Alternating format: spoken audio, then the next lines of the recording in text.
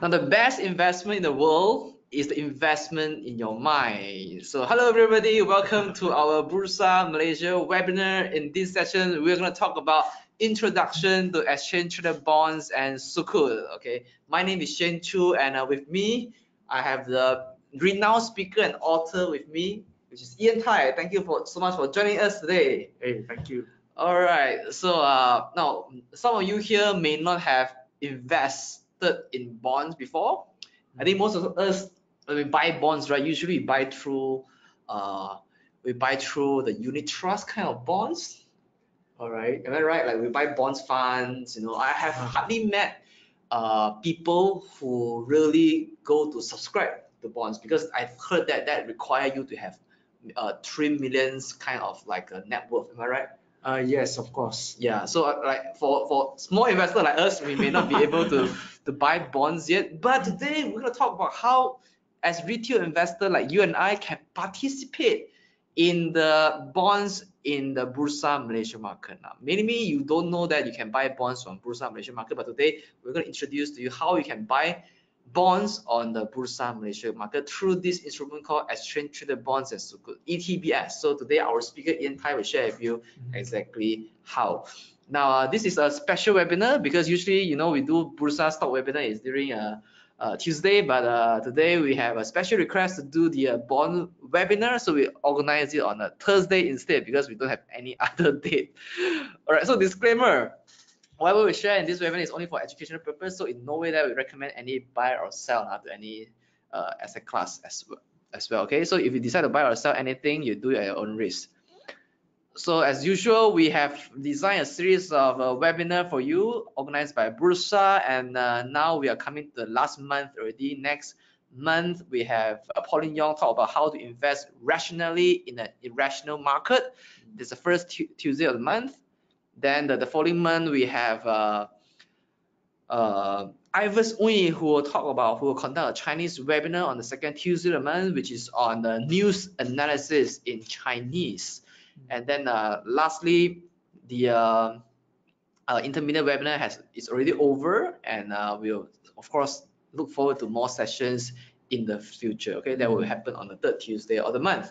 Now, who is Ian Tai? Okay, if you have come to our previous webinar, he was here with us to talk about uh, dividend yield and to talk about uh, other PE ratios. So today he's going to talk about what is ETBS. So he is a content producer for kclau.com, which is the leading personal financial blog in Malaysia. He's also a columnist for the fifth person, Value Invest Asia, and uh, Majalah Labor.com.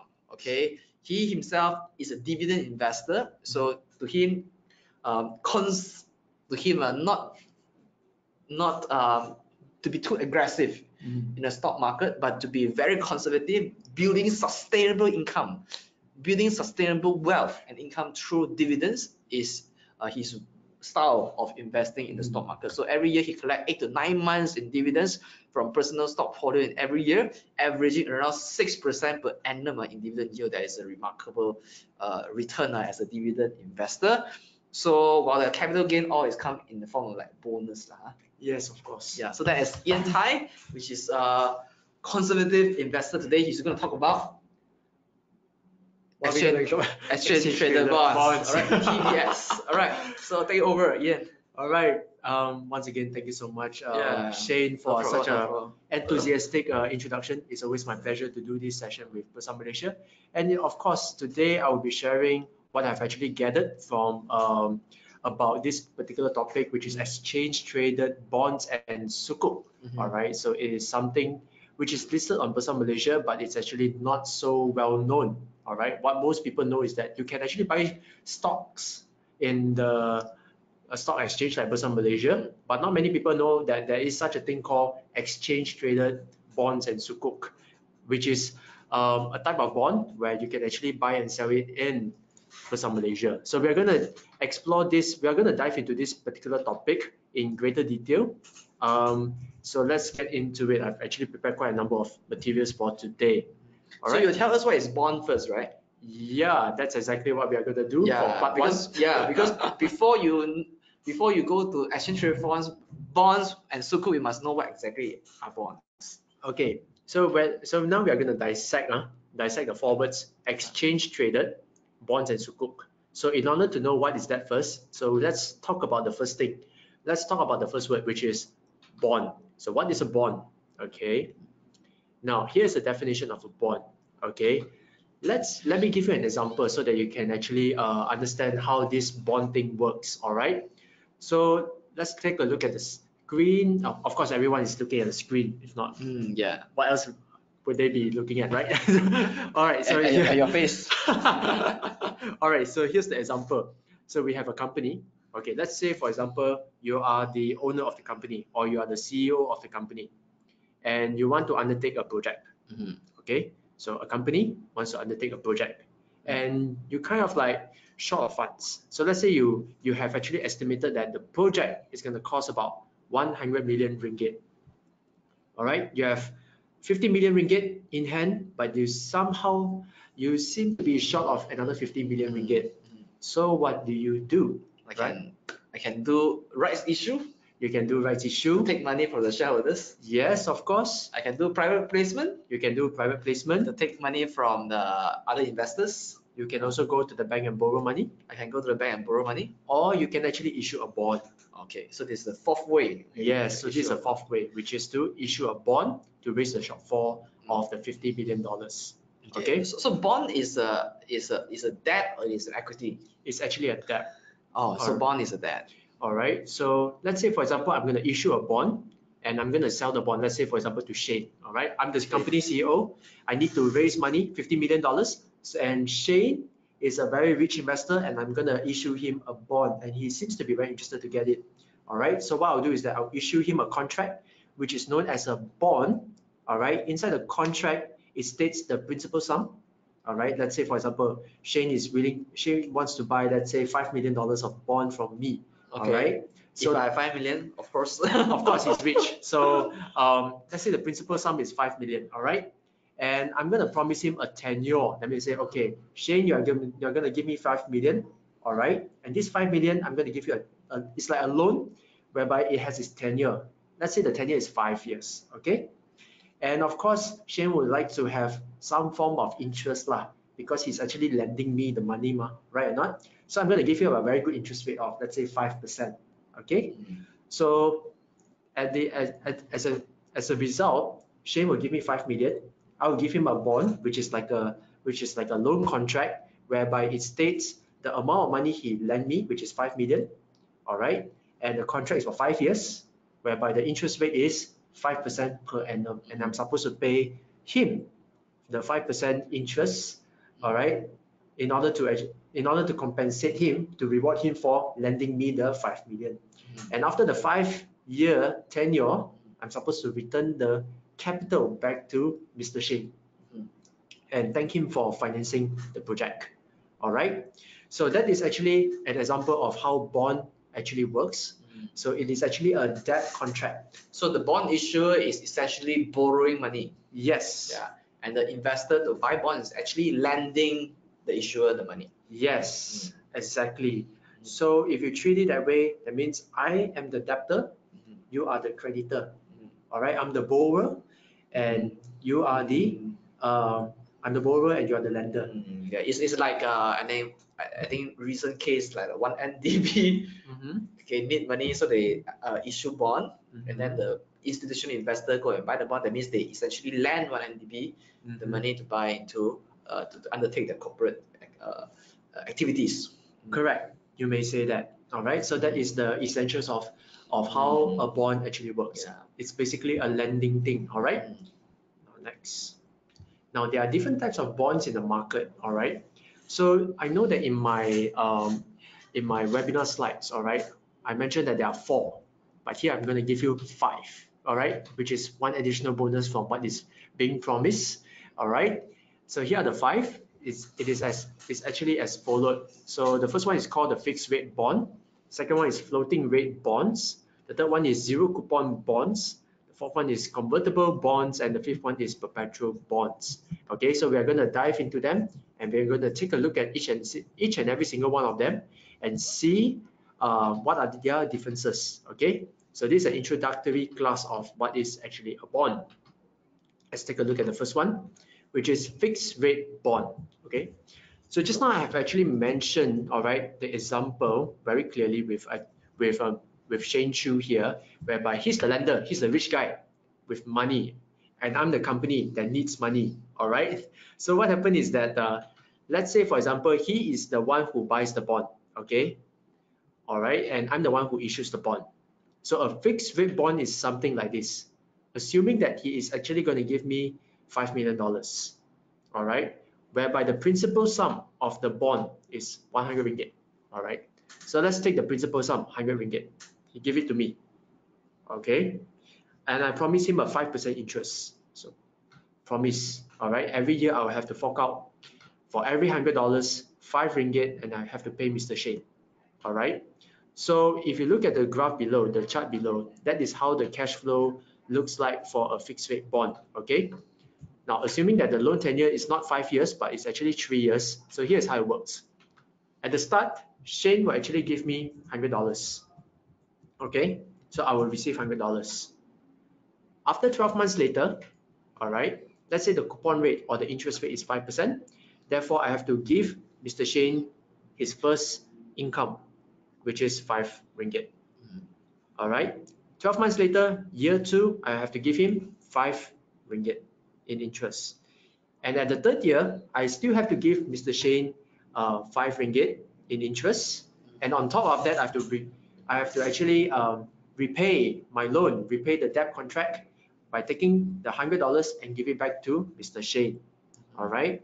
So in total, Shane has actually lent Shane, Shane has actually lent me $100 and he has actually received $5 plus $5 plus $5, which is $15 in interest income, plus his capital back, which is $100. Okay. So if you invested, say, 1 million mm -hmm. in the bond that give 5% yield a year, then essentially every year you will take back 50,000. Yes, until the maturity, you take back the principal sum. Yes, you will take back lah. I will have to give lah. All right, because I'm the company and you're the lender yeah. lah. Right. So this is actually the fixed rate bond. So why is it called fixed rate? Because the interest rate for for this bond it's always fixed at it has already the contract states that it's five percent means mm. uh, whether market goes up, market comes down, five percent. Mm-hmm. Okay. Okay. Right. So let's talk about the risk lah. Mm -hmm. You see, a coupon rate of the bond gives us in your example mm. is 5%. Okay. Uh, how risky is this bond as an asset compared to fixed deposit and compared to equities?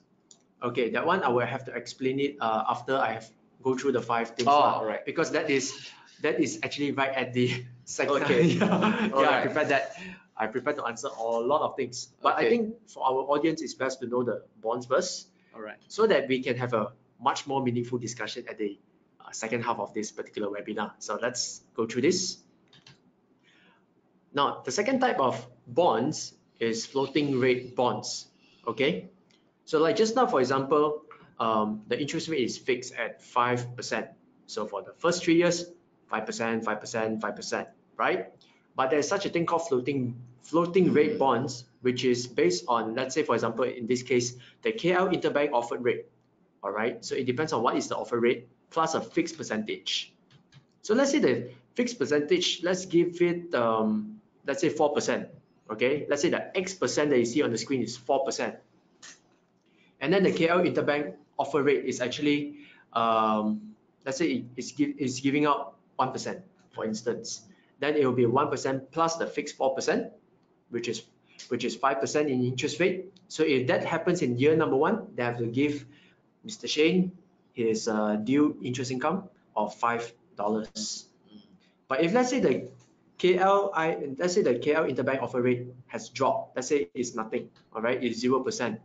Then of course we I have to compensate Mr. Shane four dollars, the plus four percent, which is four dollars. And of course, if let's say the KLI, K, the the KLIBOR or the KL interbank offer rate has increased to two percent, so it will be two percent plus plus four percent, which is the X percentage all right? And I have to give him $6. And of course, if let's say the maturity is three years, then uh, at the end of the third year, I have to give back whatever uh, I owe to Mr. Shane, which is the $100 in principal sum. So why is it called floating rate? Because the interest rate that I have to compensate Mr. Shane differs according to the KL Interbank offer rate. Okay, so let's move on to the third one. Zero coupon bonds. Mm. Okay, so what does it mean? Now, zero coupon bonds is like this, huh? All right, let's say, for example, the principal sum is $100. Okay, so that is the value of the bond. All right, so zero coupon means to say there's no interest rate. All right, so let's assume Shane has a million dollars. All right, I want money from him because I want to start a project. All right, so I tell Shane, hey Shane, can you borrow me one million dollars? Will he just give me one hundred? Will he? Will Mr. Shane be so kind enough to actually give me the one million dollars? And three years later, um, he allows me to pay him back at the same rate, which is one million dollars. I believe. I believe Shane is like friendship. that depends on our friendship. I believe Shane is one guy who can lah, but let's assume that he's not lah. okay, let's assume that he's not. Then Shane may say, okay lah, all right, I'm willing to take a chance on you, but uh, instead, but instead of giving you one million, right? How about this? I um, I give you let's say eighty. I give you eighty-five lah, uh, eight hundred fifty thousand. So you lend me eight hundred fifty thousand. I do the project. Then um, after three years later, the three years right, I don't need to I don't need to receive money from you. Wow, okay, take 850,000. Three years don't need to see Shane. All right. But I but at the end of the third year, I have to give back to Shane one million dollars. Okay. So this is actually how zero coupon bonds actually work. All right. Um, which is why zero coupon bonds they are when when they are offered they are always offered at a discount as compared to its principal sum. All right? So that's the third one. Fourth one convertible bonds. Ah what is this convertible mean? Hmm so now let's say mr shane he said hmm, ian actually i take a look at your project and your company ah your project and your company is very interesting ah do you offer do you offer me a chance to become your buddy ah, your shareholder Mm. Okay, so that's where the convertible comes in lah. All right. So meaning to say, Mr. Shane, he's so rich, he will give me one million dollars at the start. And let's say, for example, this is a fixed bond. All right. Just now, like type number one, we got the fixed uh, rate, fixed rate bond. So I receive one million dollars from him. I every year I have to pay Mr. Shane um, five dollars, uh, the fifty thousand dollars in interest to Mr. Shane. That's his interest income. That's year one, year two, and year three. And after year three, let's say, for example, Mr. Shane says, hmm, Ian, I don't want to invest in your company. Fine, law. I take my, I take the one million dollars that uh, I owe Mr. Shane, and I give it back to Mr. Shane. But let's say, for example, let's say, for example, Mr. Shane says, Hey, Ian, I like your company. Can I become your shareholder? Then instead of giving back the $1 million in capital to Shane, I will start to calculate, okay lah, this is the rate, all right? This is the rate that, uh, uh, this is the amount of shares that, uh, that is worth equivalent of $1 million and I will give it to Shane. So instead of receiving back his uh, loan capital, all right, he may actually get shares. He may be compensated with my company shares instead, so that he is now a brand new shareholder of my company. Mm. So that is actually convertible bonds. But of course, can the shares be converted only at the end of the third year? Not necessarily. Which means to say in that three years period, let's say this bond is only for three years. In that three years period, at any point of time, depending on the contract, he can actually slowly uh, he can slowly convert some of his bond holdings into shareholdings. Mm. All right. So that is like a sweetenizer lah, just to attract you to be to actually lend lend me your money. Mm. Okay, so this is like a loan stock. Sort of lah. Yeah, convertible loan stock, Mm, right? Which is also traded on uh, on Bursa Malaysia. mm, correct. So we have the final one, which is perpetual bonds. Okay. Why is it called perpetual? Because there's no maturity date for it. That's Mm. why if you see the third year onwards, it's like there's selama-lamanya lah. All right. That means say the bonds is issued It's something like this. Shane, okay, he's so happy and uh, he lends me money, $1 million to fund a project. And this project is so long term, okay, so long term that I tell Shane that this project, uh, uh, this project that I do right is going to change the world. Mm. But you must give me time. I cannot give you a promise date that I'm going to repay you. okay. All right. But every every time I didn't re- every day or every year I didn't repay you the repay you the money, right? You will get your five percent interest rate, your five percent interest income. All right. So you say, okay, law. What sort of project is that? All right. Let's say you find it to be wow, so life, so world changing or something like that.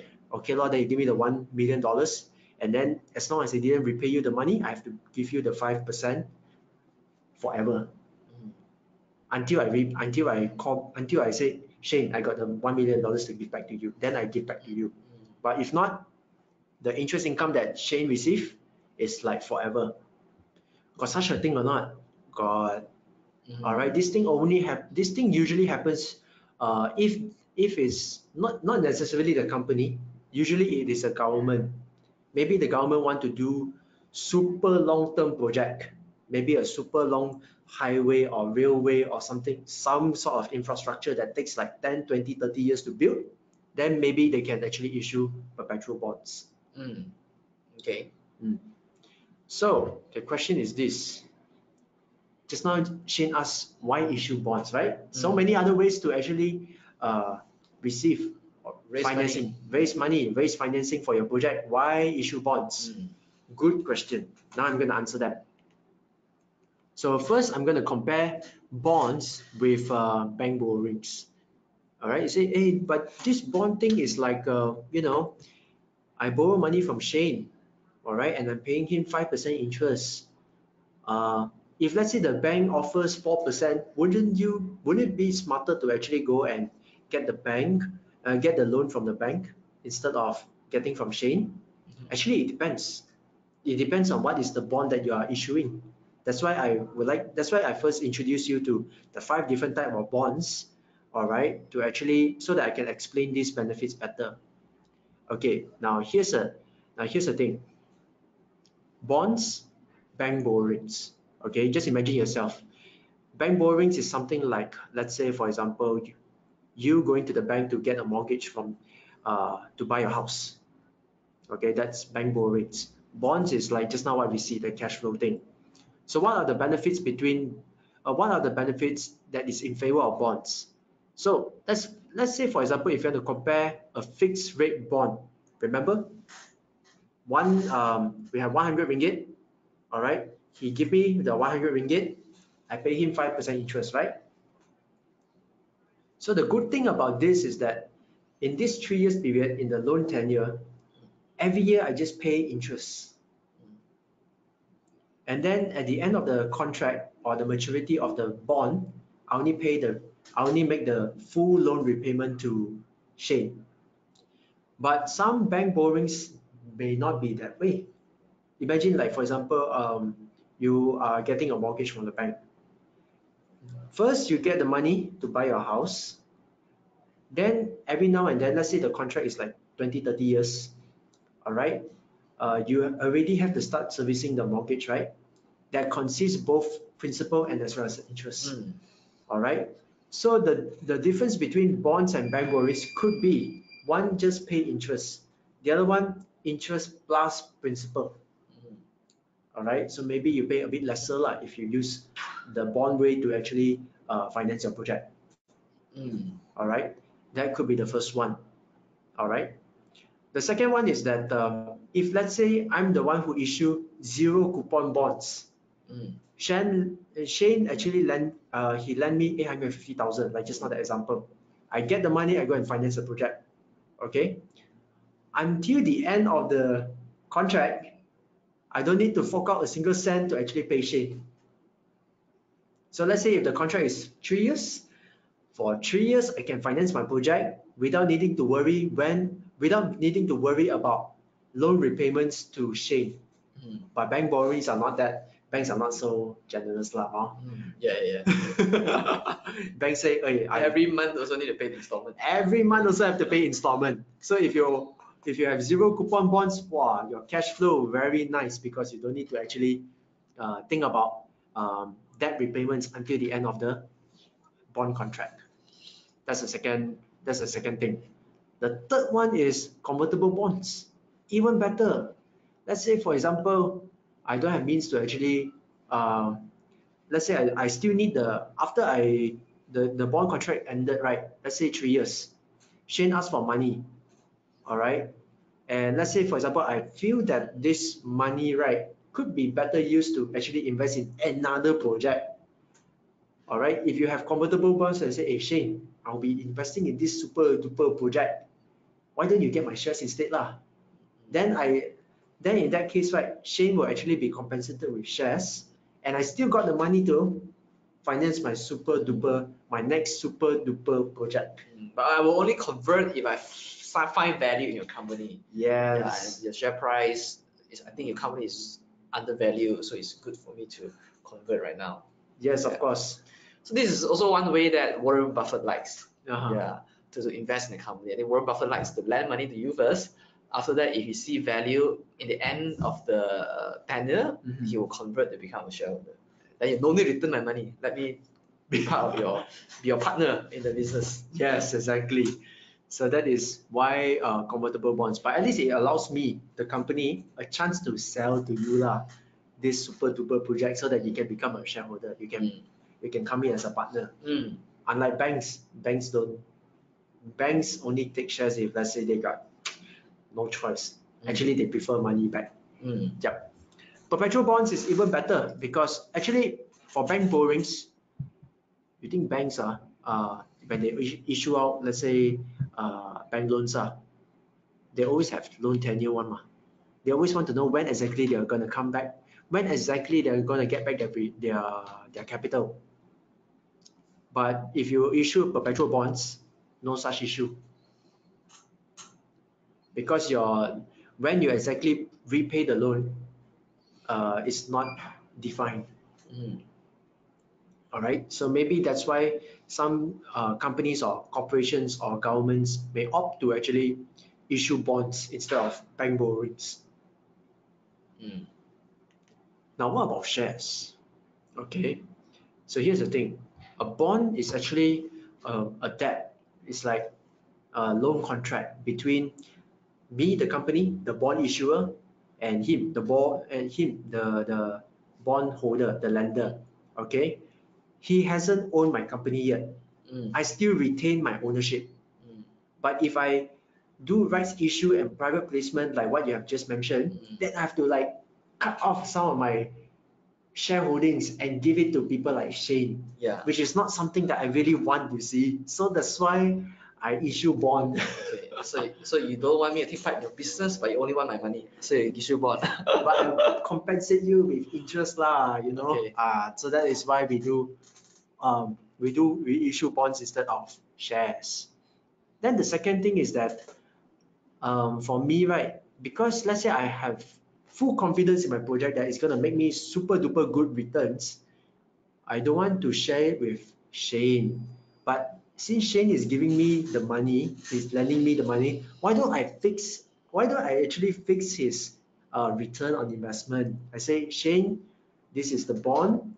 All right, I issue to you. You give me money, I, will give it back to you. But every year, I will fix your interest income at five percent.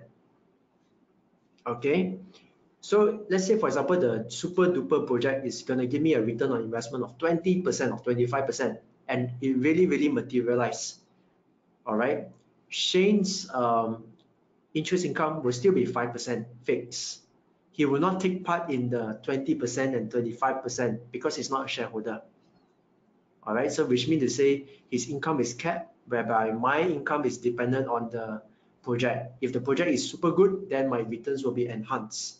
If I issue bond instead of shares. Mm. All right. The third one is holding period. Of course, um, this one I believe that um for shares, right? Of course, if let's say I want to issue rights issue to Shane, of course Shane will have a say lah. That's the bad part about bonds, uh, because Shane can actually hold the short, hold the share, my company share like forever lah. All right, so that is that is one thing good about uh, share ownership Mm. over bonds. All right. So unless it's a for bonds point of view, unless it's a perpetual bond, otherwise the the thing is actually quite fixed. Uh, the loan tenure is quite fixed. Actually, it can work both ways. All right. It depends on the intention. Number one is that if let's say I'm a company and I want Shane's money forever, then of course I will issue shares. But if let's say I don't want I don't want to hold on to shares, I don't want to hold on to Shane's money like forever. So I just give him a bond lah, so that I can fix, okay, Shane's, Shane's involvement in my company, right, as a bondholder is only like three years. After three years, I take his money, I give it back to him, and have nothing to do with him already. So that's the beauty of the bond side. Of course, um, if let's say my company, right, if I give shares to him, what if my company doubles in value? Then you may not Then you, you feel emotionally not so right. Yes, also, uh, yeah, lah, of course, lah, because everyone is greedy in that sense. lah. But then, of course, the, the only thing is that uh, the difference between bond and shares is this. lah. But when I give, when I cap Shane's involvement in my company financially and fix his interest income, I have to give him some guarantee lah, why he has to, why he uh, should actually subscribe to my bonds, uh, which is if my company doesn't work out, let's say I go, let's say my company go bankrupt, then of course you will get first Mm. priority over Mm. over my assets, over shareholders. preference shares holder and also the common shareholder. Yes. So that is the difference between bonds and shares lah. Mm. Okay, so so so when a company uh need a cash call, I mean they need needs money, so they need to decide whether should they do a rights issue, should they do a private placement, or should they borrow money from the bank, or should they issue bonds? Yes. So they will weigh, lor, okay, what would be the more effective way or best way in, in this case where they want to undertake a certain project or certain investment. Correct. Mhm. And of course, with that, we are going to look into sukuk. Ah, yeah. So what is sukuk? Good idea, sukuk. All right. Um, I have actually done a little bit of research on it. So let's Mm. take a look at what I have Mm. gathered. All right. Because to me, as a non-Muslim, ah, to me, Mm. bond and sukuk more or less the same, lah. All right. Yeah, but yeah, of yeah. course, Sukuk is really new to me as well.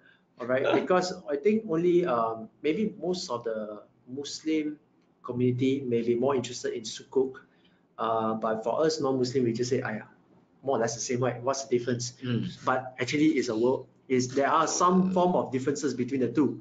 All right so it's good that all of us as malaysians know what Yeah. sukuk is That's why that's why I want to applaud you for coming to this webinar today to learn what exactly are sukuks. okay sukuk is something like this huh? because um, under the under islamic finance okay what i've studied uh, because i'm not muslim so what i've studied at least from the internet is this um, for the muslim for muslims right it is actually not permissible for people like for people like you to earn interest I'm a Muslim. Yeah, yeah I, ca- I can't earn interest. let's say shane has converted now he is a now he's Muslim. Now he- let's call him Muhammad, Muhammad Shane. Muhammad Sheikh, okay? Muhammad Shane. So I can say, hey, hey, Muhammad Shane, uh, I issue bond to you lah. You earn the interest income. Mm. He say, then Shane say, tak boleh lah. Saya sudah saya sudah convert jadi Ah. Muslim. Ah, Alright, how? Are you like that lah? Uh, that- but then I still want your money. ah. I still want to pay you the the fixed interest, but I cannot issue bond to you. How? That's where sukuk comes in. All right. So sukuk, actually, the intention is pretty much the same. I'm the company. I want to raise funds for my project. So instead of using bonds, because bonds is bond involves riba, which is not permissible under the Islamic or the Sharia principle. So I use sukuk. All right. So I say, okay, don't worry. I got sukuk financing. They say, apa itu sukuk? Okay. So sukuk is like this. I'm going to tell you a project. Okay. So I tell you, Muhammad Shane, this is the project. This is the project that I'm doing. Oh, you look at the project. Okay.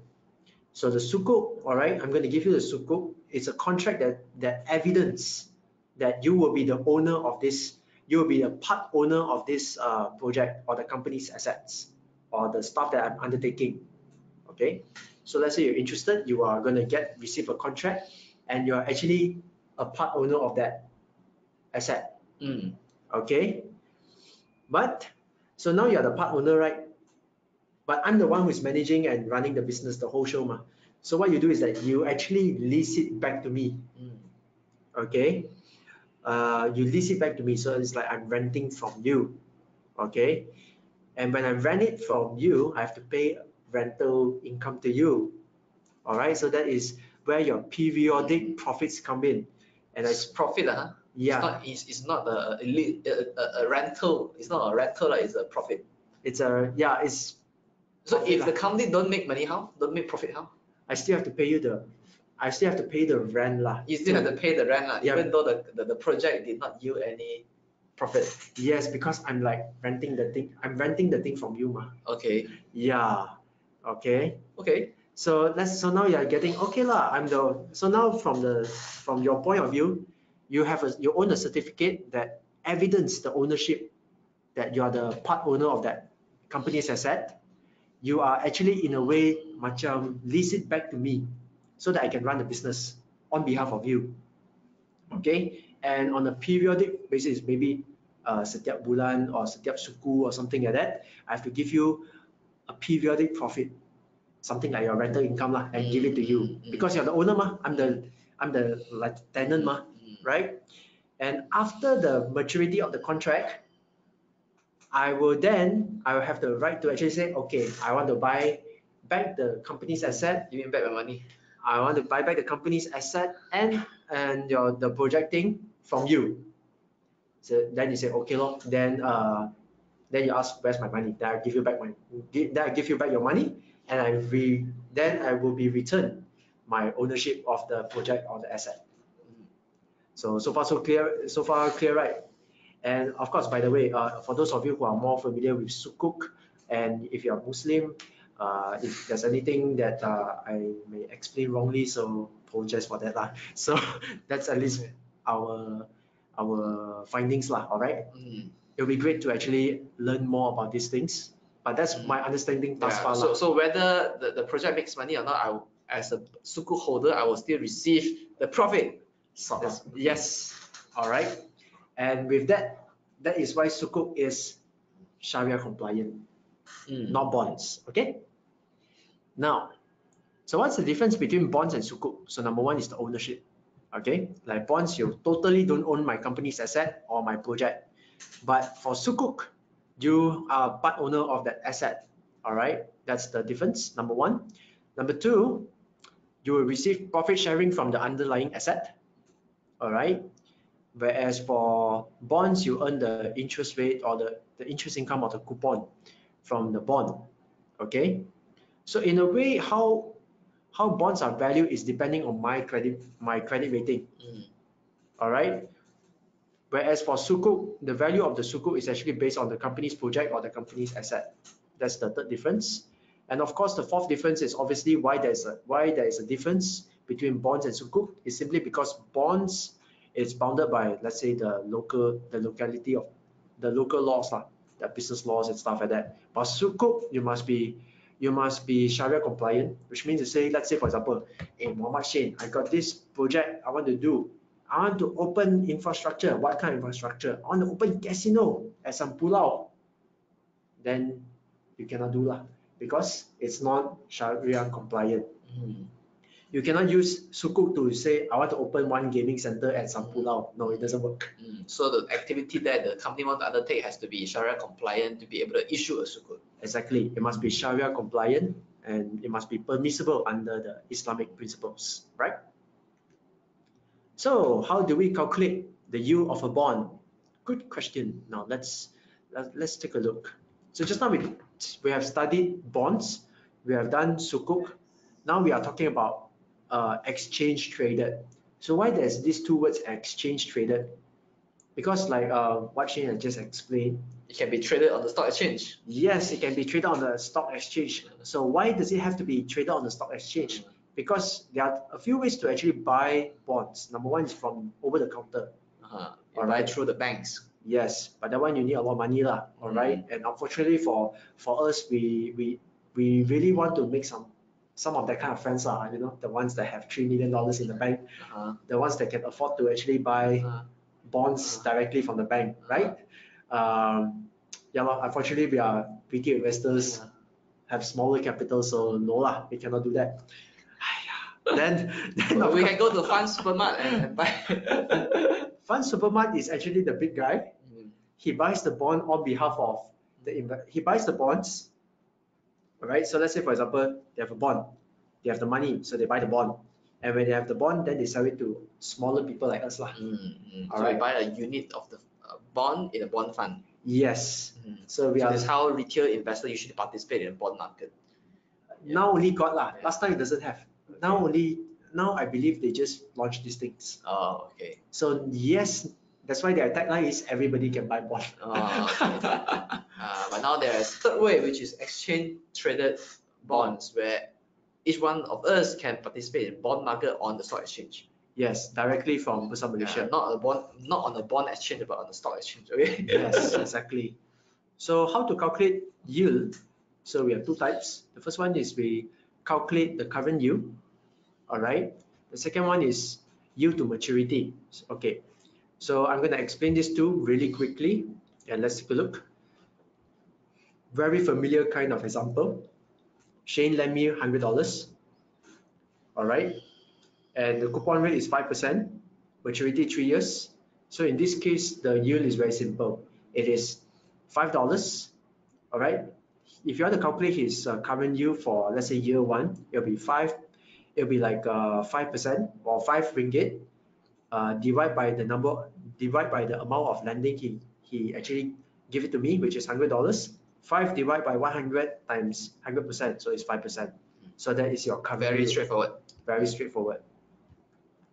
So now, if let's say the same bond is to be um, listed on Bursa Malaysia, okay, let's say like scenario one, all right, the same bond, and let's say it's it's actually listed on Bursa Malaysia, so you can actually buy and sell Mm, whenever you like. mm. Because when there's market forces, there will be some bonds that are selling at premium. There will be some bonds that are selling at discount. Mm. So let's say, for example, right now, right, uh, let's say another guy, he can come in uh, after you, after the bond is listed on, let's say, Bursa Malaysia, at year one itself, you can buy the bond for 95 ringgit.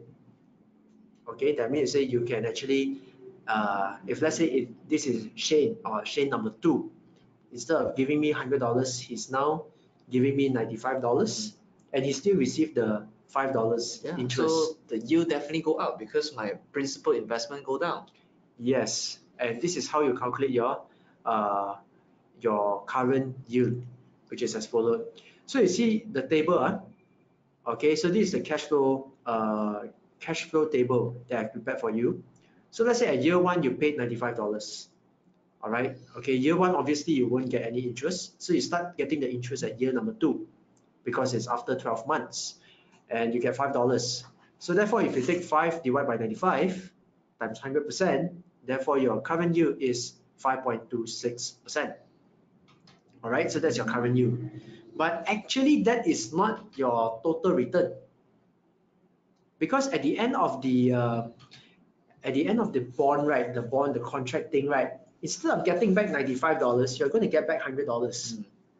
All right, so that means to say at the end of the maturity, you are going to receive a little bit more. Mm. So it's not hundred dollars you you lend it to me, hundred dollars I lend it, I give it back to you. It's ninety five to me, I take back hundred. you take back hundred. So therefore, there is such a thing called yield to maturity, and the formula is as followed, which is the amount that you collected back minus off the amount of money that you have lended to me. So it's five dollars, right?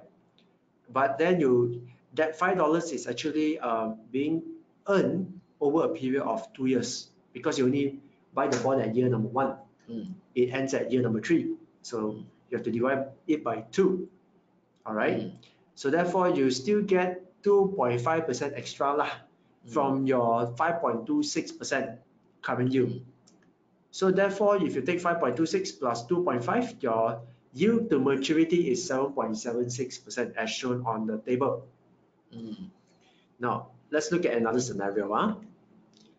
Scenario two, let's say for example, you buy the bond instead of year number one, now you buy it at year number two. So you buy it one year before it expire. So what would your returns be? Your current yield will be, as you can see, the cash outflow starts at year number two, you paid $95. At year number three, you get the $5 in interest income. So your current yield is still the same, which is 5 divided by 95 times 100%, which is 5.26. But your maturity, you see, because it's one year only, ma, Mm, you pay me 95 at year two, mm, one year later I give you 100 already. So that, which means you are going to get more or less 5%, all right? 100 minus 95 divided by 1. Mm, So it's 5%. So therefore your yield to maturity is 10.26%. mm. All right. So that means to say in year two, your yield to maturity will be much higher than, than a person who buys the bond at year one, although it's at the same price. Okay. Now let's look at a reverse scenario, which is scenario number three. Let's say you can buy the same bond, huh? all right, but instead of uh, $95, now this time it's reverse. Shane say, Ian, uh, okay lah, like this, I borrow you, I, I lend you 105. I still collect my five, my five uh, percent interest. All right. And uh, at the end of the loan con the loan contract or the bond tenure, I get hundred hundred dollars back. Mm. So what would you what would your current yield and your yield to maturity be? So let's take a look. So let's say in year one you pay 105. Year two you get five percent you'll get uh, five dollars. All right. So actually, right, you take five divided by 105 times 100 percent. Your actual current yield right is actually 4.67 percent. Because I invested the bond at a premium price. Correct. And at the end of the maturity, you get back hundred dollars. All right. So that means you say you lose about five dollars in in principal lah over a period of two years. So therefore, you have to minus off uh 2.5 percent from your current yield, and therefore your yield to maturity is around 2.26 ah. Mm. Okay, which is a bit lower than if you buy it at 95. So that is the thing here. When bond prices are low, of course, your yield to maturity and your current yield will be much higher. If you buy it at a higher price, then of course your yield to maturity and your current yield will be much lower. It is the same for scenario four. If you buy the same bond at 105 at year number two, so what will happen? So if you paid 105 in year two, and you only get your cash inflow at uh, year number three, all right, so as you can see, you get uh, your $5 in interest. Your current yield is 4.67, your 4.76 as per usual. Sorry about the typo. Uh, it's supposed to be 5 slash Divided 105. 105. Yeah. Now, when it comes to your maturity at year three, your cash inflow is $100. So that means you say you will lose 5% uh, from there. So therefore, your yield to maturity, it's um, 4.76 minus of 5. Therefore, it is 0.26%. Mm, interesting. Yeah. But essentially, I essentially in this scenario, right? I buy 105, Mm. I take back five dollar in interest, Mhm. and then I and then I take back 100. So essentially, I don't lose any money. Essentially, you lose on inflation. Yeah, I lose on inflation. Okay, so now I'm going to give you some case study, uh, all right, so that you can actually be familiarized with the calculation. So this is actually, um, we're going to do one exchange traded. Mm. Now, because why, why, why, why does this use very important? Why is this use important? Because when you invest in bond, uh, generally, you know, we would not expect so high capital appreciation. It's mainly from the income perspective. Do you agree? Yes, And that's why learning how to calculate the yield is very critical as uh, to be a, uh bond investor. If you look at the America, uh, the the treasury market, you see that their their yield is actually going down. In other words, their bond price is going so much higher. People are willing to pay the bond at premium rate to receive so little yield. So that's that means how maybe how fearful is the market. Uh, yeah, of course. Yeah, at, at a certain point, there are also inverted yield okay, that, that took place. So, so that's why when it comes to bond investing, it is important that we learn how to calculate yield. So, so glad that today we have uh, Ian, the share us how to calculate yield. We're going to do a case study on one of the issuer, which is Dana Infra Nasional Berhad. Yeah, of course. So Dana Infra, actually in, in Bursa Malaysia, there are four. There are four ETSB, exchange, exchange traded bond and sukuk listed on Bursa Malaysia. And three of them are from Dana Infra, Nasional Berhad. Okay. So basically, these are the four ETBS, exchange traded bonds and sukuk listed in Malaysia, on Bursa Mhm. Malaysia. So mainly all four are sukuk, huh? Yeah, uh, yeah, basically all four are sukuk all lah. Sharia compliant. all Sharia compliant.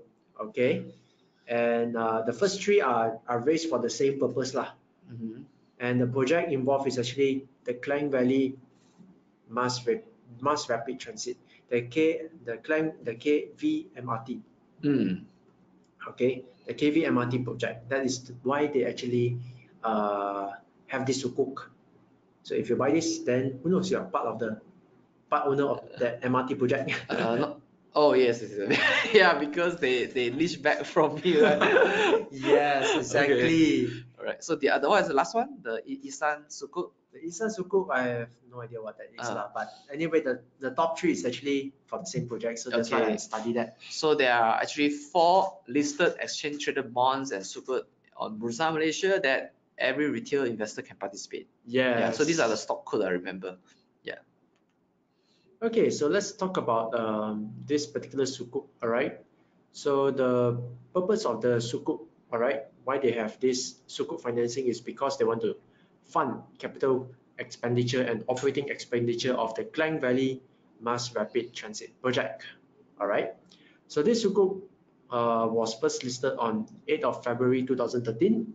Maturity date 8 February 2033, 2023, which 10 means years. it's a 10 years 10 horizon. years good. Yeah. Par value $100 per lot. Every lot, uh, okay, by the way, minimum subscription is 10 lots, meaning to say if you want to participate in this, at least your inve- your initial investment capital would be around 1000 plus plus lah, or more or less around there lah. So that is your uh, more or less there lah, okay? Profit rate, they agree to pay you 4% in uh, 4% per annum of the par value. So which means to say every year you're gonna get uh, 4%, all right, or $4 for every $100 and par value. Payment frequency, semi-annual, which means every six months they will give you two bucks. More or less there lah, all right? Mm. Every every six months, two ringgit, six months later, two ringgit. And so that means there will be like 20 payments of two ringgit lah. Mm. Okay. And the redemption is 100% of par value at its maturity. Means to say, uh, for every lot, they will give you back 100 ringgit, Mm. Depending on how many lots you have lah. Mm. So these are the key details of the sukuk. And right now, because it started at 8 February 2013, all right. Now, to simplify this particular webinar, let's assume that we are now at year number seven, Wawasan Duoplo Duoplo. Okay. Okay, so this is the price that we can get into right now, all right, which is hundred dollars and sixty cents. So this is the current price, uh, the last you check. Yes, or at least when I do So this it's like, uh, slightly above the par, par value, 60 cent above the par value. 60 cents above the par value. Actually, the price didn't go anywhere. Yeah. lah. So that, that means your your your annual yield will not be four percent, but maybe three point nine Nice. something percent. Correct. Okay. And therefore, what is your returns, right? So this is where we calculate your yield. So let's assume that in 2020, you you paid 100 ringgit and 60 cents for per lot of this bond or this ETBS. Your cash inflow is still $4. So therefore, if you take 4 divided by 100.6 times 100%, your returns will be, your current yield will be 3.98%. Yeah, okay? And this bond, or sorry, this sukuk will, will mature in 2023. So by 2023, you will you'll be redeemed. You can collect back hundred dollars from from uh, from Dana Infra. So meaning to say, uh, you paid hundred and 160 cents, you collect back 100, 100 uh, ringgit Per lot. so you will lose that 60 cents lah, essentially. So that 60 cents, if you divide it by three, then of course you're gonna, uh, of course you will lose like 0.2%. So therefore, if you take 3.98, your current yield minus off the yield to maturity, which is 0.2, your yield to maturity is 3.78% lah, or 3.8% like that. Okay, so it's a little bit better than your FD lah, so to speak. Okay, so with that, I have ended my session. Oh, And Okay. uh, yeah, uh, actually, what time is it now? yeah, still have time, more time for question and answer. But, but let's talk about uh, bond versus fixed deposit. okay. Okay, now, am I, am I right to point out that bond is slightly, bond and sukuk are slightly more risky than fixed deposit because they involve debt lending? Uh, in a way, yes. Yeah. Okay. Number one, because fixed deposit in Malaysia, if let's say you, you didn't put like more than two hundred and fifty thousand dollars, then of course it's PIDM insured.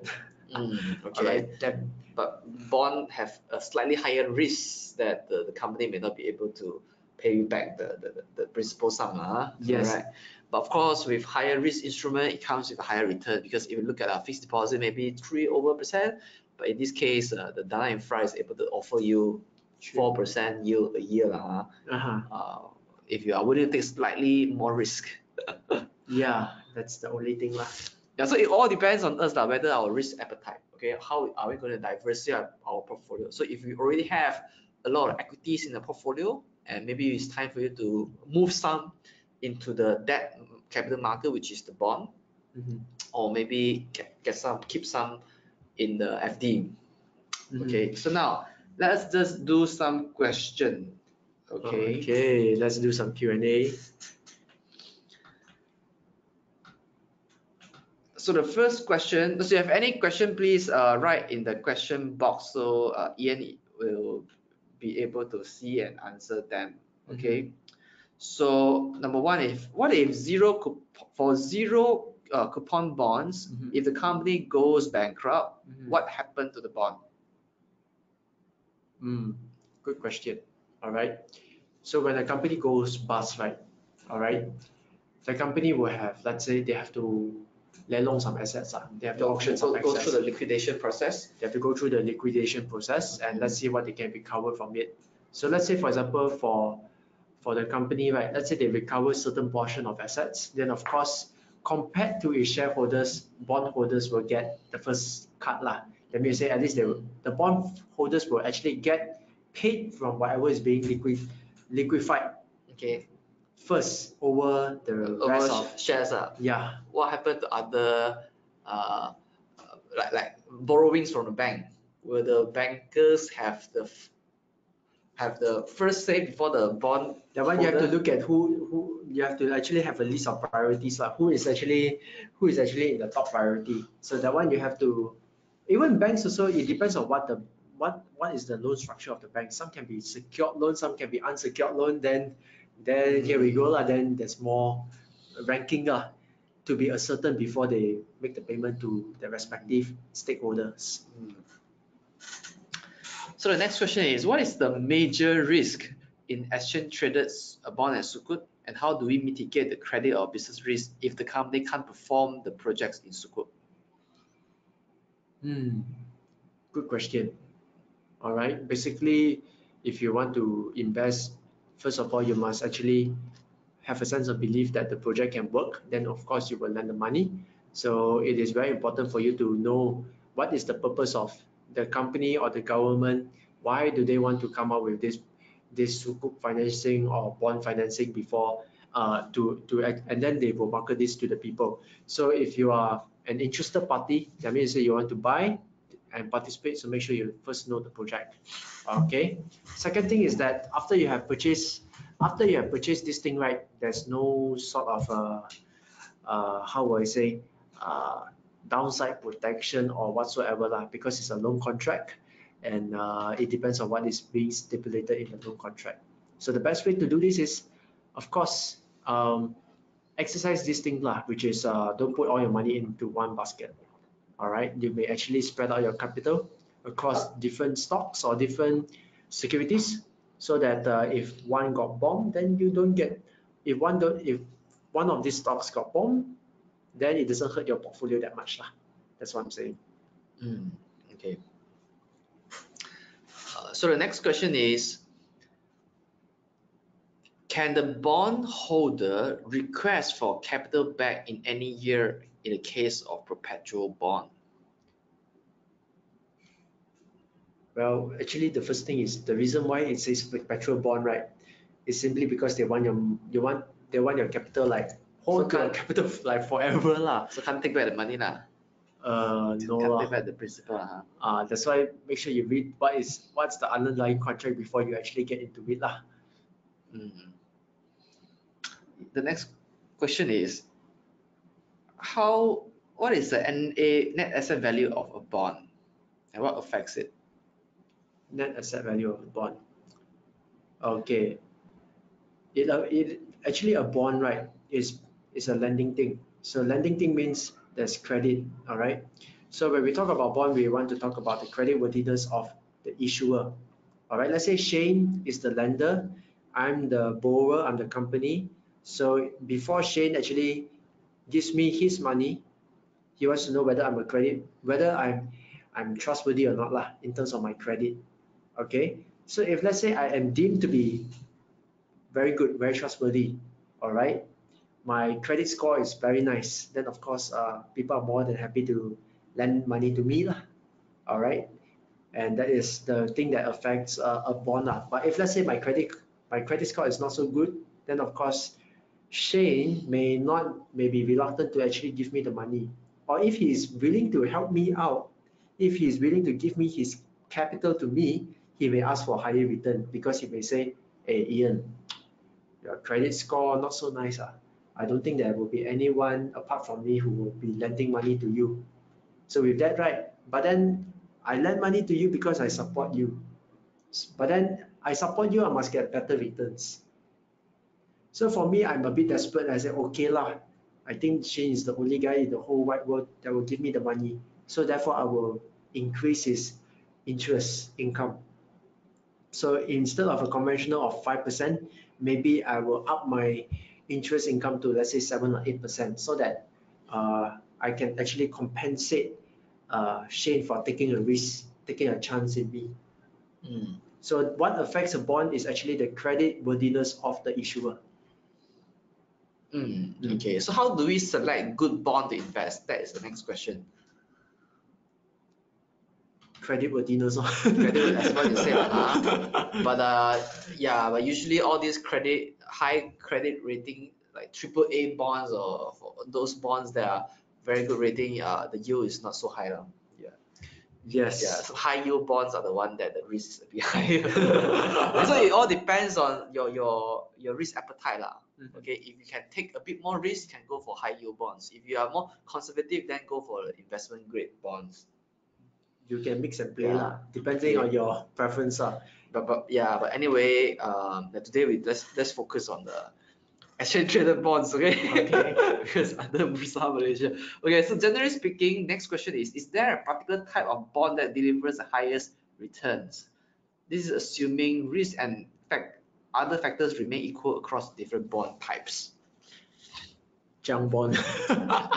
no, no, okay, okay. Obviously, it's part partially joking, but it's also partially truth. The ones that give the highest returns are usually the ones that people don't want to actually lend money to, right?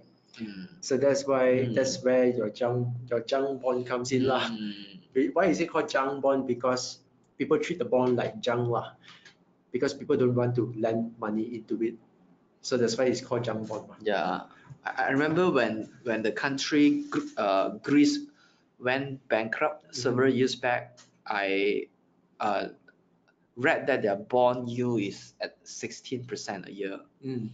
So this is the kind of rate that a country, a sovereign bond can fetch.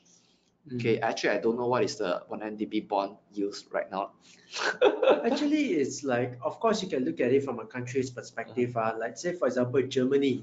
All right, Germany, obviously, the bond rate, the bond yield is going to be super low because their credit rating is super strong. ah. Mm, All right, of course, Singapore is going to have very good uh, credit rating.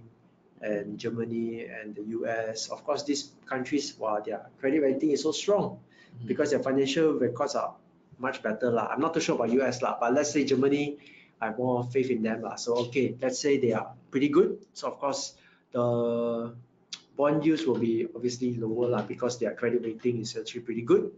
But if you're talking about other countries, let's hope Malaysia holds up. lah. If Malaysia holds up, then maybe our bond yield is not too high, lah, Mm. oh, right? Mm. but if let's say something happened to our country's finances, then of course uh, that's not so good to our credit rating. Then of course people will want higher Mm. returns for their money Mm. before lending the money to us. Mm, Okay. So the next question is, is there any bond ETF in Malaysia? Mhm. Bond ETF, there's only one that I know of. Mm. All right, there's only one. I do not. It start the the name starts with an A. It's ABF something lah. Mm. Alright. Yeah, that, that, that, there is, there is. Okay, let's go and find out. Bursa Malaysia. Okay. So the next question is, how can one sell a bond before it matures through Bursa Malaysia? Just go to your online trading account and uh, just make the trade. All right. Like for example, right now you can buy. Okay, if you see, let's say you go back, right? So right now it's uh this is a 10 year sukuk, so you can actually buy it right now. Let's say the price is about hundred dollars seventy cents or hundred dollars uh 60 cents. Then of course you can go to the market straight away, open your stock trading account, and you can make the purchase online, and then uh, you will own a sukuk. Mm. And then if you want to dispose it, then you will dispose it and uh, get back your capital. Mm. Yeah. So it, this is already on the secondary market. We Yeah. can trade bond on the secondary market. Correct. Yeah. So next is uh, can exchange traded bonds and sukuk holder attend AGM? uh, I don't think so lah. I, I I'm not too sure whether they have AGMs or not. Um, that is actually a little bit beyond my knowledge lah. All right. No, okay. But if Yes. let's say it's a bond, then of course there's no AGM for you to attend lah. Okay. Uh, because I, I personally have not invested in any ETBS before, so I got no experience as well. Uh huh. Yeah. Okay. So. Uh, so do I. So. All right. So uh, the next question is: Is there an X date for bonds stock for interest entitlement similar like dividend entitlement for a stock? That one I believe yes. That one yes, you can go to Bursa Malaysia website and they will tell you when exactly they're gonna they're gonna credit the the interest or the profit rate to you. All right, they will give you a lot. They, they will give you some information like for example how much they are how much they are gonna declare, when exactly is their payment date, and stuff like that lah. So you just need to go to Bursa Malaysia. What you can do is this ah, you let's say for example, let's try out this if you if you are watching this webinar right now, let's say you can you can go to Bursa Malaysia website, all right, and then at the stock code at that part right, you just type in 0400GA, all right, that's the stock code for Dana Infra Nasional Berhad, uh, kind of uh, ETBS. You click onto that, you click onto company announcement, I'm sure you can actually get all this information very handy. Mm. So the answer is yes. Yeah. So the next question is: If the bond holder sells it before the X date or maturity date, will he or she still get any interest upon the bond maturity date? Yes. All right. So that's why when it comes to bonds, right, uh, it's not like FD whereby, let's say you have a one-year FD, you hold it for nine months and then, yeah, I need the money, I need to cash it out. Then you lose the interest. That's FD. But for bonds, it's a bit different. That's why they have this. They have two types. For bonds, they have two types of pricing: the clean price, the clean price, and as well as the dirty price. So what I mean, okay, for example, okay, I purposely make this slide right close right at the dot at 2020. All right, so if you want to be super exact, let's say the the bond is actually listed at uh, on the 8th of February 2013. So this should actually represent the period whereby you bought it at 8 February 2020. But right now, as we speak, we are now at um, November 14, 2019. Okay, so it is still three months away, right?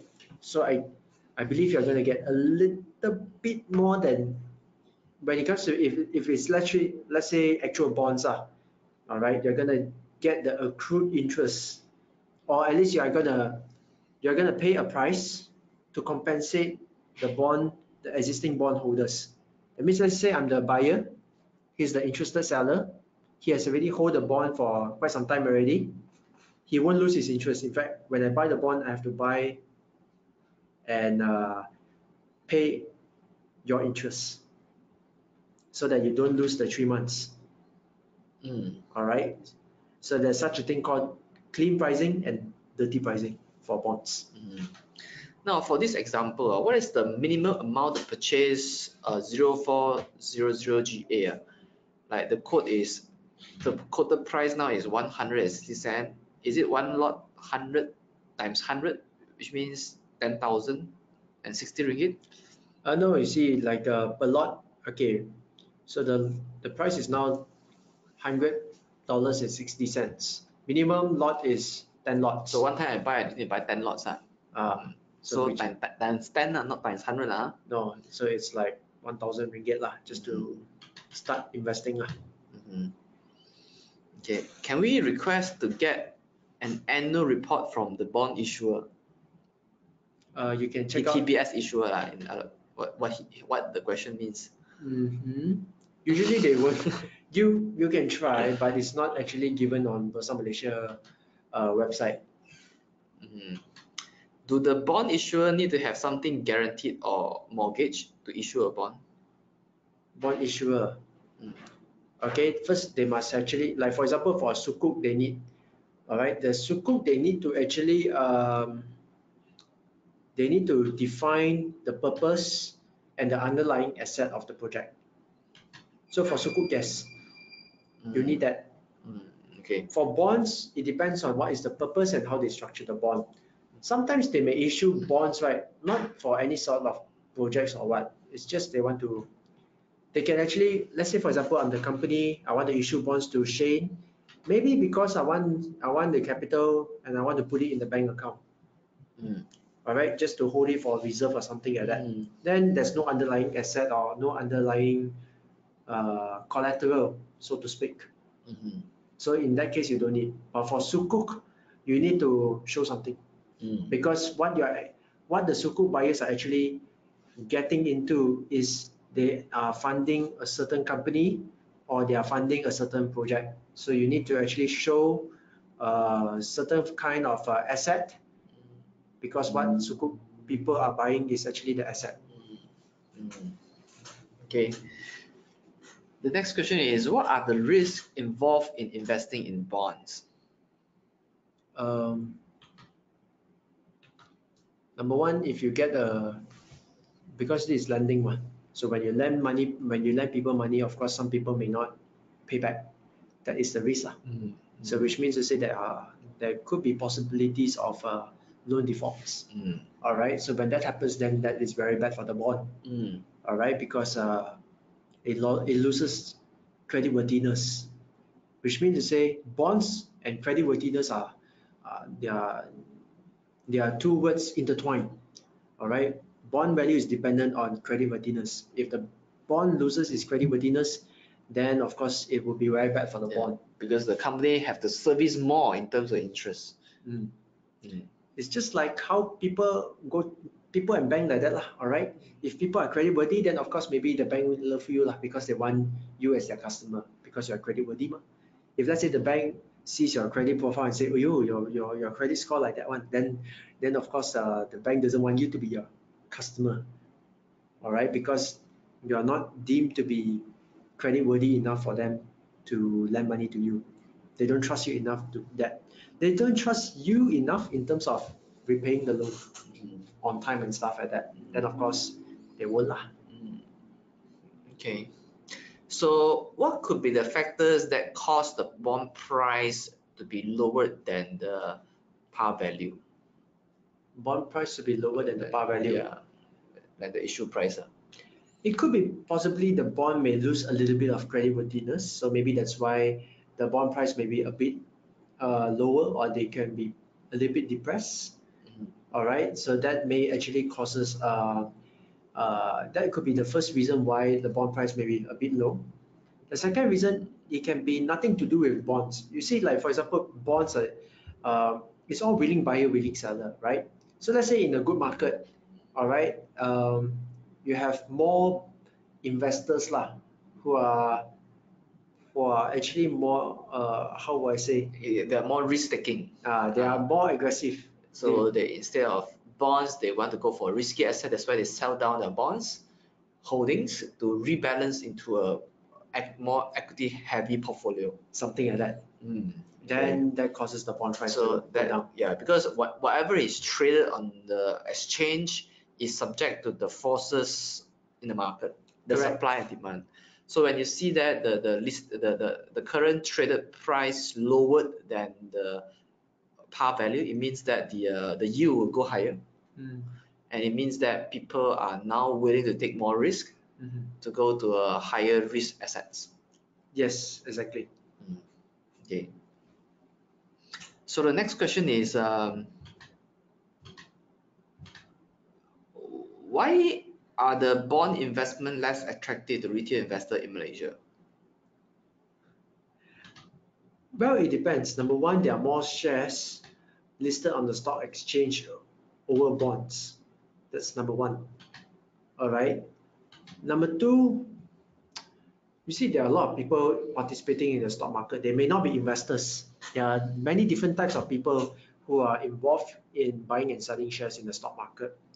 Not all of them are investors. So that's why the subject of investing is so confusing all right because you have different types of people different with different types of objectives and personalities involved in the buying and selling of shares in the stock exchange all right so for instance we have investors number one okay? Investors are people who actually they are pretty much conservative all right so they are conser- conservative people who just want to buy into good companies and and make sure that the good company shares are, are offered at a discount and they just want to enjoy some some good form of recurring dividend income something people like me lah for example Mm. dividend investor is actually one type of investor Mm. but there are also other people who actually who like something more exciting all right they are into trial out they do Mm. not have a specific plan or spe- they do not have an investment plan they do not know what they are doing so they just come in with money and they just want to try their luck lah. Mm. so basically these are people who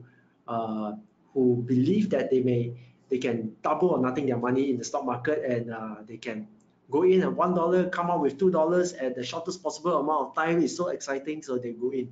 There are also people like that in the stock market. And of course there are traders in the stock market who uses sophisticated advanced trading tools charting tools to actually time and time their market where their mentality will be very different from how investors would uh, would adopt when it comes to buying and selling shares. So you have different people with different backgrounds, with different amount of capitals, with different personalities, and as well as different characteristics in the stock market. So therefore, um, that's why maybe um, share market or the stock market, right, may cater to all these people better, much so much better than the bond market lah. Mm. So maybe that's why more people are into shares than bonds lah. Mm. Yeah. All right. So the next question is, what is your view on buying bonds from the some other platforms such as uh, fundsupermart.com? Is liquidity better than the exchange traded bonds and sukuk market? More or less the same, I- suppose. Okay, so it depends what what gives you the better deal lah. All right, you can, of course, um, because Bursa Malaysia we have four. All right, of course, if you go to ice, um, you go to Fund Supermart, obviously you are gonna have a lot more choices lah. All right, you just go to two websites and you compare lah. So the the whole idea is that um, anything that gives you the better better deal, right, you can just go for it directly lah. Mm. Mm. Okay. Is there any correlation between the Malaysian equity market and the Malaysian bond market? Hmm. Correlation ah. Mm. All right. Do you study into such depth? of course, of course not lah. But then what I know is this lah. Let's say for example, if I'm a company, ah, let's say I'm the company, okay, and uh, if you want to logic it this way, right? All right, I'm the company. I'm trying to invest in the business. I'm actually running a business, and uh, and I will get a profit, right? So let's say for example, uh, of course, the lesser interest rate I pay to people, to my borrowers, let's say people like Shane, the more profits I'm going to generate. So if Shane is getting a fixed interest income, all right, and my profits go up, of course, um, my share price will also go up, lah. all right. But if let's say Shane or any other borrowers are getting more interest income from me and I get lesser profits, then of course, uh, the bond market will do much better than the share market lah. All right, so that's my general understanding, my general logic lah. Maybe Shane, you can actually add to this particular question. What do you think lah? okay, then let's go to the next question. Yes. Is there any market maker for the exchange traded bond and Sukuk to avoid liquidity issue? Market market maker. I thought Bursa Malaysia is the market maker, right? Or No, no, oh, No, the no. no, is a platform. platform. This So to provide to pro- provide a place for the issuer to, to issue the ETBS on the stock exchange. you know, so far, so far no comments on this issue lah. Okay, yeah, no idea. lah, No idea lah. Yeah, okay. I also have no idea. Okay, I never bought any ETBS before because uh, I'm more like a stock guy. I'm not a bond guy. Okay? Okay, but you're more conservative, so I don't know whether you bought before or not. okay. Now, for the bond listed on Bursa Malaysia, after the interest X date, uh, will the bond price be adjusted? Like what happened to Uh, dividend? lah? A bit lor, ah, slightly lah. In the case of Dana Infra, not much lah. That's why you can see the stock price also doesn't go anywhere lah. So okay. Is that to give you fixed periodic profits every Mm. six months once. Mm. Ah. Mm, okay. Wait, uh, so what is the difference between a bond and the P2P financing? Oh, that's a good question. Okay. Now, P2P financing, all right, and uh, bond, ah, number one, of course, the, the, the return is actually a bit different. Lah. All right, that's number one. Of course, people are expecting to get more from P2P financing. So if you're into that kind of uh, returns, then of course, P2P will be preferred over bonds. That's number one. Number two, when it comes to bonds, right, usually people who who issue bonds are these are actually bigger companies, bigger companies or government. All right. So which means say if you are if you want to actually uh, get bonds or sukuk from bigger companies or more established companies or even the government, right? Then you may actually go into ETBS. All right. Because people who actually go into P2P financing, they are all small and medium enterprises. Ah. All right. The reason why they go into P2P is simply because if they want to go through bank loan, uh, they have a lot of paperwork to fill out. And they have a lot of uh, rules and restrictions that the bank may impose. The bank may impose uh, when it comes to uh, financing, all right? When it, when it comes to financing for the uh, SMEs, all right? But if they go through P2P, then maybe SMEs uh, have a much bet- easier time to actually get financing lah, Mm, all right? Now the third one is when it comes to default lah. So if a, so if let's say I'm the issuer, I'm the bond, and then I default, then of course maybe as a bondholder you get back something lah, you can recover something. But when it comes to P2P, when let's say the company default or something like that, then a bit hard for you to actually um, get back anything lah from from your uh, investment. mm, That's why if you want to go into P2P, uh, of course, this one I have a friend. Actually, we have a mutual friend who actually went into P2P. We have a mutual friend. Yes, of course, our our Taiko Casey lah. So he went into B2B. Oh, okay. Yeah, so he so if so it's actually based on his experience lah. Okay. Because what he did was P2P, right? He put in, let's say, he put in, let's say, ten thousand dollars, and then he diversify ma. Everyone he, every single lender, every single SME, he put one thousand dollars. Okay, so we have ten P2P lend, TP, P2P lenders, uh, P2P borrowers. Sorry, ten companies. These are borrowers, and he's the financier. every single one, let's say, every single one of them, let's say they are making 10% in interest rate. So the first one, okay, they pay back the $1,000 and you pay the 10% interest rate. So you get back 100 and, uh, 100 and one hundred. 1,100. The second one did the same. The third one did the same. For the first nine borrowers, everyone pays him back uh, the 10% interest. So you get back nine, nine, uh, 9,900. The last one, after paying for, let's say, two months, let's say the financing is for one year. After paying for two months, the company actually defaulted and the two months, let's say you get back 170 bucks. Okay, so it's 9,900 plus 170, which is about $10,000.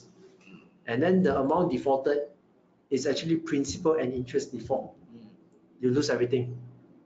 So mm-hmm. you can have one default that wipes out your. Yeah, but but essentially, uh, our friend Casey still makes money lah. Don't lose money, just don't make as much lah. Yes. Think he takes back ten thousand plus lah. So the strategy is don't do, don't go with too much capital in for one SMB. That's why a lot of people they when they when they do P2P right, uh, they only go like a few hundred dollars per company. But of course that is just uh, outside the topic.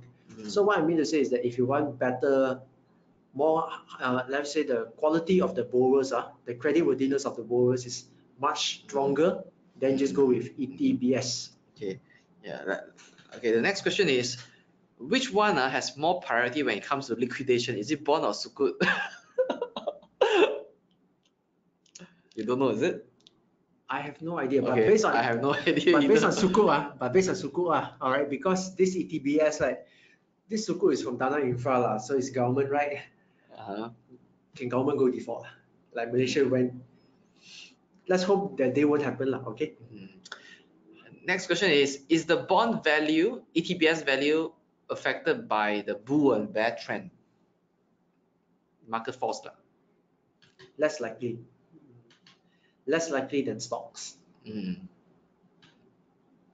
Okay. Okay. Let me see. Can so the, the next question is can we subscribe to the bond like we subscribe to the IPO share? Possible? Possible if it happens. Mm. Okay. That means how how how but of course on ETBS you can't lah because all these are exchange traders as you have to trade on the stock exchange. You want to subscribe to the bond, I think you got to go to the primary market like subscribe from the banks. ah. Mm, Okay. Mm. All right, I think we have done enough in the, all the technical terms. Okay, Mhm. I hope that you are not uh, bored by all the technical terms that we covered, and hope that you can get as much as you can uh, from this uh, uh, ETBS webinar. Yes. So now let's talk about when is our next webinar. Next webinar will happen on the 3rd of December. This is the last uh, beginner webinar Mhm. for the year of 2019. So we are going to do how to invest rationally in an irrational market. So the registration link is already shared on our chat group. Please go to click immediately if you want to uh, learn from our speaker, uh, Pauline Yong, on how to invest rationally in an irrational market. Mm. All right. So uh, yeah, with that, thank you so much, Ian, for spending your time with us this evening to talk about ETBS. I know that it is uh, not an easy topic because there's not uh, not about share, but it's about a more technical debt instrument, which is bond, which is a fixed income uh, security to us. Yeah, thank you so much Mm. again, uh, Yeah. Shane, for inviting me to do this uh, particular webinar. I have actually learned a lot from this particular session when I'm preparing this thing. Oh, okay, cool. so yeah. um, yeah, thanks for the chance to actually share what I've what I have gathered and what I've known about this ETBS, and it's always a pleasure to be here. Yeah, thank you. Thank you everybody for tuning in tonight. Uh, this webinar is brought to you by Bursa Malaysia and managed by Us LifeChamp. All right. See you again next uh next time. All right. Next month in December. All right. Bye bye. Bye bye.